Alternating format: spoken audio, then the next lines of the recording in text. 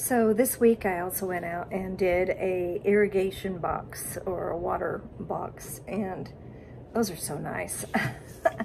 I very, it seems as though I very rarely get them now. Um, other beekeepers seem to get more of those and I, maybe it's just me thinking this, um, but I, I think I'm getting some more of the nastier removals. Um, but it, so every now and then it's so nice to just get something easy, which an irrigation box a valve box, it's in a contained area.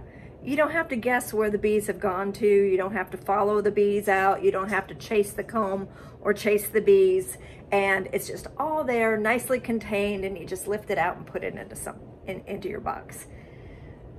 Except for this one. Um, so we're at the end of May, and this poor hive um, has already had two meltdowns. So when you see the photographs or the video, um, you're gonna see white comb and you're gonna see dark comb. So um, the dark comb fell down first. It was um, a lot of brood comb.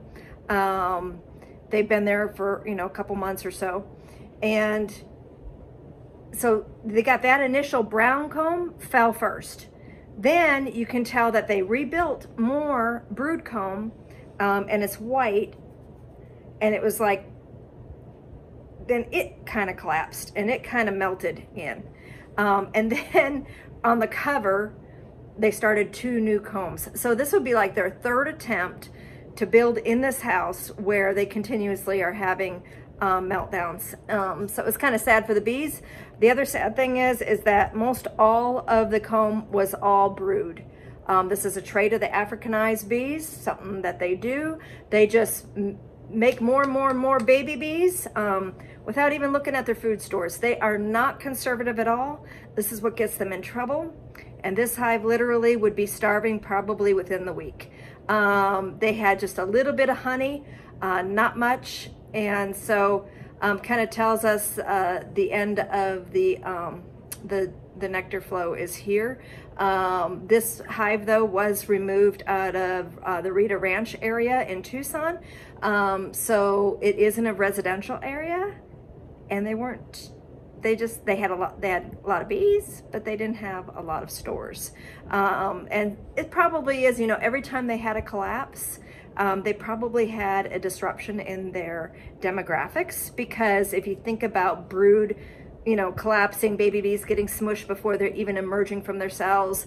Um, so all that, you know, all the resource, resources that they were bringing in gets lost because it was not to make the hive stronger. So every time that they had that collapse, um, they had a setback. Um, so this poor hive, uh, feel bad for it. It is now in our apiary. Um, it's got sugar syrup and um, so kind of just tells us that, uh, you know, this is a, a colony. We're gonna spend um, some money um, rehabilitating. Um, got the queen, saw her. Uh, sorry I didn't get a picture, she was a little shy.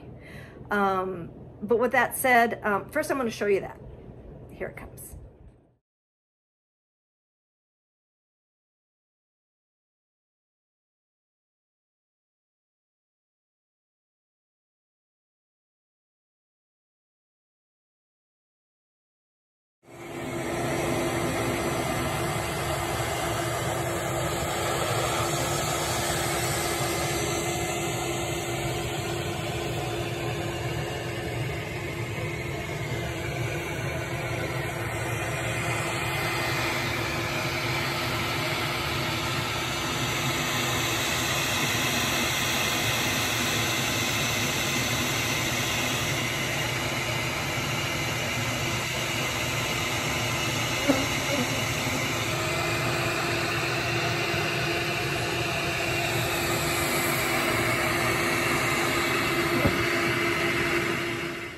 So I was naughty and I did talk to my husband first. I had permission, um, not permission, we discussed it um, to make sure that um, it was okay with both of us because there's periods where he has to take care of my animals.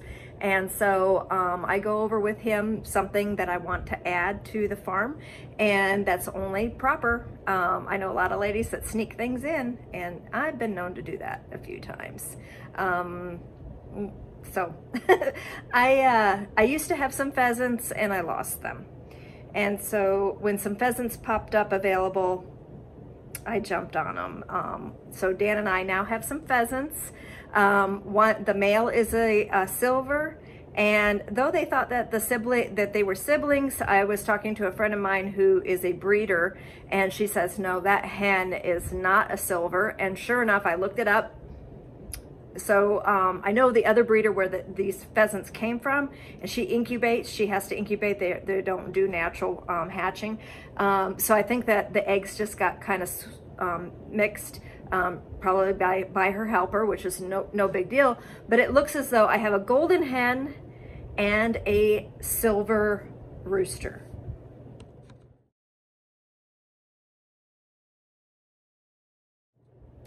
And just to close out with something really, really cute, I don't know if it's cuter than my pheasants, but um, so my pheasants, by the way, are about eight months old. Um, he is just starting to get into his colored plumage, um, his his strutting feathers. So uh, he's starting to to get the prettiness. So hopefully we'll be able to share some pictures as he evolves into getting his full, um, full, um, just, they'll be gorgeous. So, um, but Dan and I were out hiking a few months ago and, um,